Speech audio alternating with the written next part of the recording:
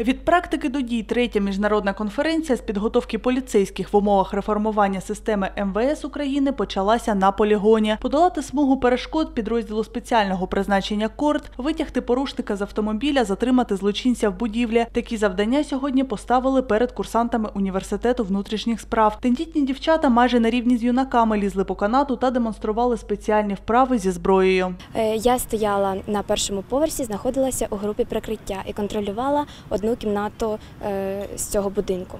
Це була кімната зліва. Е, Це не складно. Головне, щоб е, всі дії групи були узгоджені і передавати кому- комунікація, передавати команди один одному.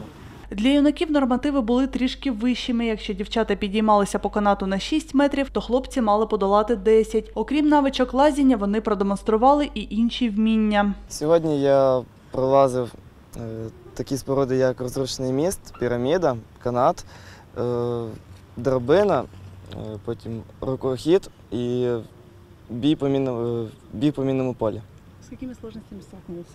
Е, з канатом. Канат у нас 10 метрів, і його надо, потрібно було дуже швидко е, пролазити. Всі ці навички, зазначають викладачі, дають майбутнім правоохоронцям багато переваг і обов'язково допоможуть у подальшій службі.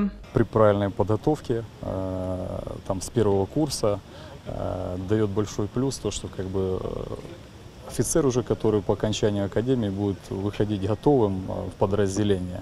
И э, когда он придет в подразделение в любое там или в патрульную полицию, или же в спецподразделение э, Корда или другое там специальное подразделение национальной полиции, э, как бы ну, на человека уже не надо будет тратить время там и средства, а- а он уже готовый боец. Ми спеціально позвали сюди і зарубіжних наших колег, е, фахівців, і е, тих фахівців національної поліції, які, ну скажімо так, уже сьогодні готують кадри, наприклад, корт по тих методиках, які запозичені в Сполучених Штатах Америки, в Ізраїлі. От це ті спецпідрозділи, які ну я вважаю сьогодні є елітою нашої національної поліції. На подальшому пленарному засіданні учасники конференції розглянули питання організаційно-правових, соціально-економічних та нормативно-правових основ регулювання системи підготовки поліції. Світлана Яченіна, Євген Шинкаренко, агентство телевідіння новості.